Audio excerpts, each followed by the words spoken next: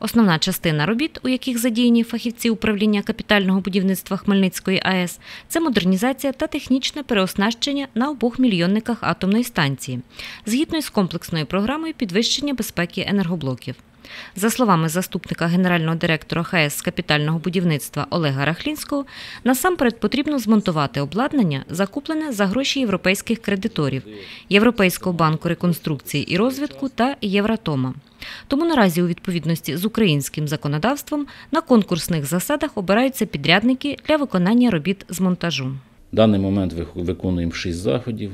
Працює там приблизно 80 чоловік підрядників безпосередньо на монтажі. Ну і до кінця року у нас ще велика програма. Ми міняємо на цифрові системи, автоматичні системи управління технологічними процесами. Системи нормальної експлуатації важливі для безпеки, системи безпеки, акумуляторні батареї міняємо. Міняємо дуже багато електротехнічного обладнання. Основний обсяг робіт, який ми проводимо, це по електротехнічному обладнанню, по цеху, по електроцеху, ну і також по цеху ТАВ.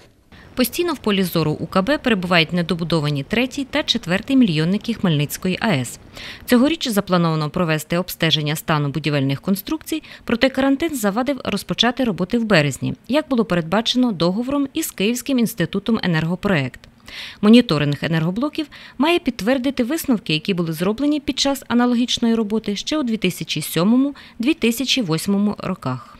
У розмові Олег Рахлінський акцентував і на головному будівельному об'єкті поточного року, необхідність в якому уже назріла для ХАЕС – комплексі із переробки радіоактивних відходів. Нагадаю, що сховище у нас експлуатується з 2002 року.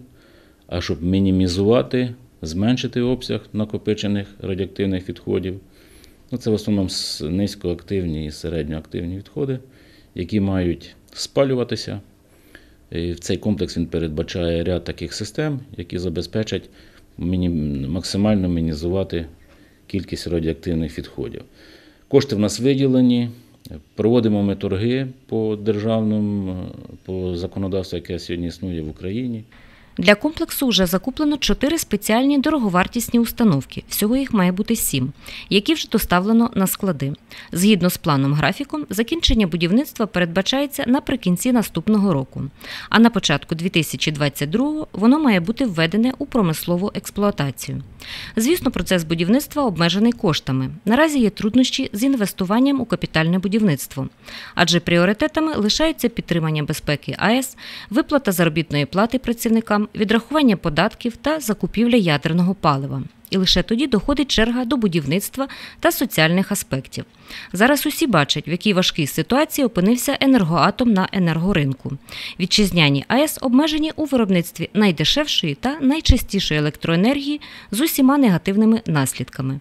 Адже зменшення потужності це недоотримання коштів. На перспективу ми набрали будівництво біля 30 об'єктів. Це ті, які нам ну, просто необхідно будувати. Вони не великої вартісті, але їх потрібно робити. Це там, наприклад, автостоянка біля АБК, ХС, де було вже обіцяно не один раз для колективу на на наших зборах, що ми це питання вирішимо.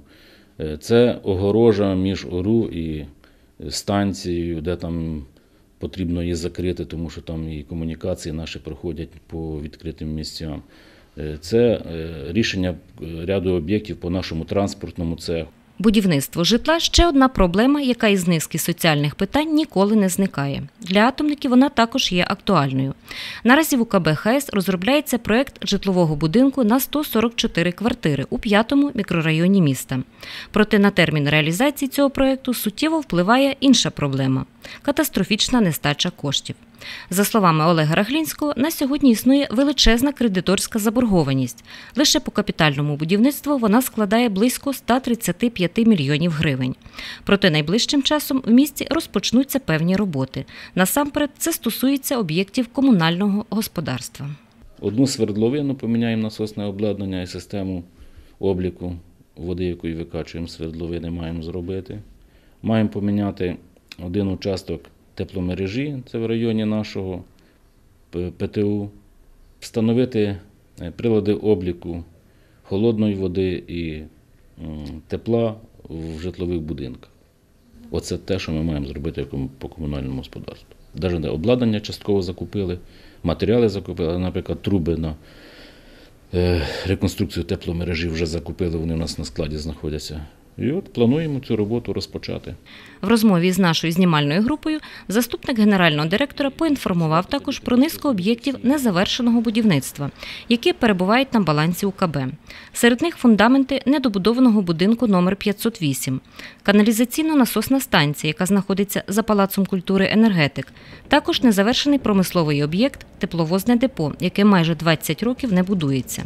Наразі на нього розробляється проєктна документація, яку планують віддати на експертизу та отримати позитивне заключення, аби наступного року спланувати добудову.